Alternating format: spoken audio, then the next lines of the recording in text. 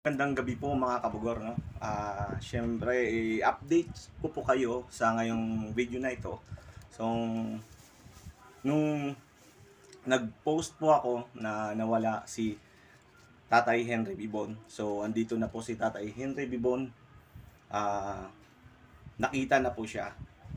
So, ayan. So, ah, bali, 3 days po siya hinahanap ng kanyang anak nung huli siyang nakita. Galing po siya na, saan ka po galing tay? Sa Bicol? O galing siyang Bicol. O, sa Bicol siya galing tapos pupunta po di- dito sa Kabuyaw. So, naligaw siya. Mm, naligaw. Nalimot. So, nalimutan niya yung ano. Pero ilang beses na siya dito, ilang beses na siya pumupunta dito. Yun lang ah, nakalimutan niya. Ba't, bakit mo pala tayo nakalimutan? Parang nawala na sa isip mo. Marami COVID yung COVID ba kang Baka siguro sa gutom. hindi pa. So, ayan. So nakita siya mga kabugor sa Muntinlupa. Nakita sa Muntinlupa may nag may nagsabi sa hipag ko kay ate na nakita siya. So umalis pala siya nung pinuntahan siya ng anak niyang lalaki. Hmm. Umalis siya kaya hindi siya naabutan. Tapos nanap na siya, hindi pa rin siya nakita. Mga umabot na siya mag ah five days, mag-isang linggo. Oo. Oo, yun mga mag-isang linggo. So kaya nag-post ako no, napilitan ko na post na lang kasi yung picture niya para maraming makakita mga bugor no. Nag-post ako, si a- si ate ko ang nagsulat doon, ako na lang po nag ano ng picture niya. Ah, dahil di ko po alam kung saan sa galing lugar noon. I-pinost ko. So ayan, may nakakita nga sa kanya, umabot siya doon mga kabugor sa ano no, sa. Ginanyangan. Hinyangan. Oo, Ginanyangan, Quezon Province. Grabe ang layo.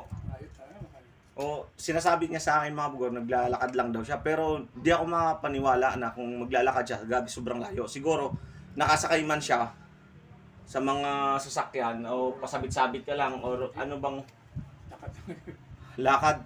Ba? Grabe. Ang la doon siya nakita, ang nakita sa kanya mga kabugor, yung mga pulis doon. So, ayan, um, Mm. Ayan, Tay. ah pakilala ko muna yung ano, maraming maraming salamat po sa Gininyangan, ah Quezon Province po, sa mga pulis po. Ah, saludo po ako sa inyo. Sir, ah maraming maraming salamat po na nakita nyo si Tatay Henry Bibon. ah naibalik po sa kanya na anak. Dahil sobrang ano na siya, ang kanyang anak, si ate. Sobrang kabado na kung saan hanapin si tatay. Eh, nag, nag-aantay lang din po kami ng mga message sa post ko. Ay, yun.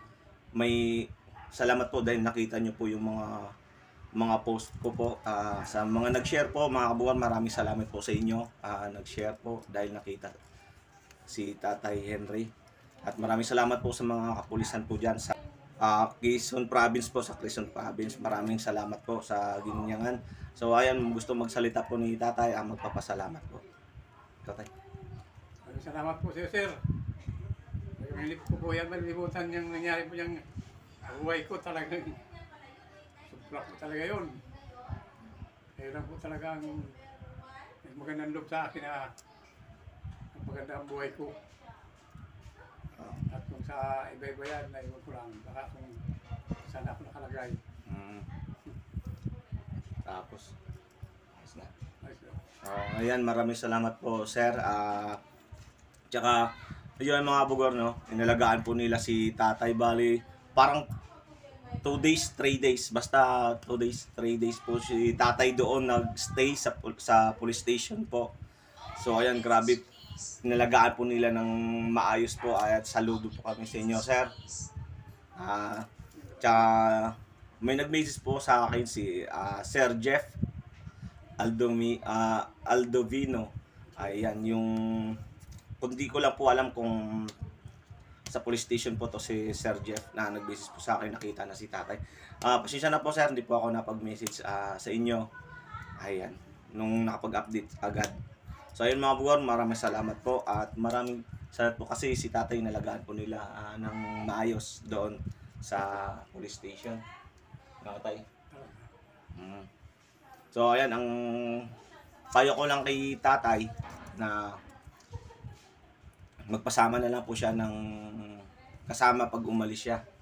Kasi, ah, alam niyo mga bugor, kasi may, meron na makalimutin na daw ngayon si tatay. Sabi na Ate Lori, tama po tatay.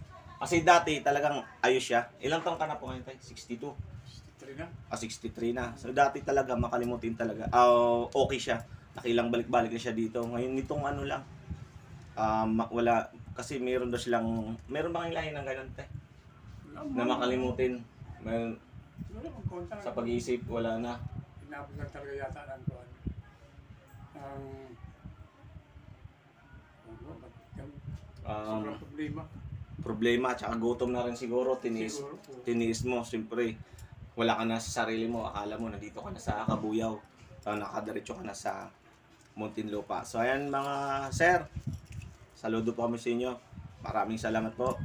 At lalo na po sa mga followers ko at sa nag-post po tsaka nag nag-share po. So ayan maraming salamat po sa inyong lahat. Ilagay ko po dito yung kung nasaan si tatay na tagpuan yan ang picture po na nagkita-kita po sila.